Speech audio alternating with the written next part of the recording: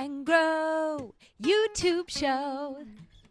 You're you're mentioning the the um proportions, the the tips, the tricks, the knowledge that we might not have, basic interior design tips. Can we start there? Of course. Yeah, so there's so many tips that it can be overwhelming. Mm-hmm. But the first thing is don't be afraid to go big. You know, so many people buy lots of little pieces of furniture because they're afraid that something may not fit or it may be overwhelming.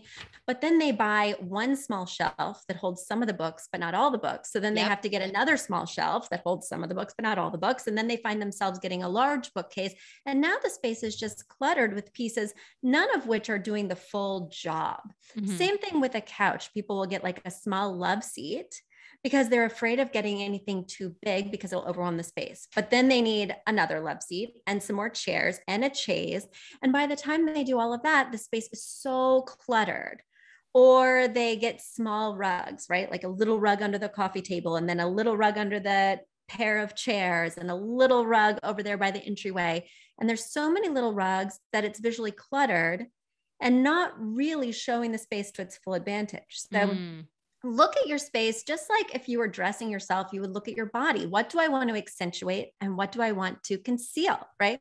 If Mhm. I have really high ceilings, I want to make sure to incorporate really tall things so that I draw people's eye up to what's amazing. Mhm. And if I have floors and I don't really like the stain, it just doesn't coordinate with my style, uh, but I want to conceal that, then use a large rug, right? So just think about things you want to highlight. I love highlighting windows because Mhm. it's like art that you don't have to buy. So you want to flank that with beautiful drapes and make sure that those drapes touch the floor. We don't want any cropped curtains unless we're designing some kind of country kitchen. Mhm. So there's lots of different tips for lots of different elements, which I think is also why it can be overwhelming. There's so much to know. Mhm. What about I've heard people talk about the rule of three when it comes to design. Is that a thing?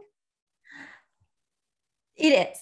It's Okay. definitely, I- I don't call it the rule of three. What I call it is not using a lot of even numbers. Okay. So odd numbers feel more natural to us. They're more organic to the eye. In fact, a lot of it crosses over into plant life. When you look at like a maple leaf or whatever, it Mhm. generally has an odd number of points versus an even, right? Mhm. We're used to three leaf clovers and four leaf clovers are very rare, right? Mhm. So odd numbers feel more organic and natural to us. So I avoid too many pairs of two.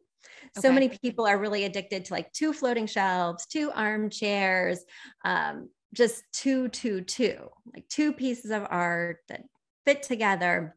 But it can look a little like Noah's Ark. You Mhm. really want to avoid the trap of two.